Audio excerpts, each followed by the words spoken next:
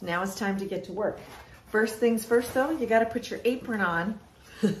That's the thing that makes, makes it mean that I have started work. When the apron is on, work is gonna get done.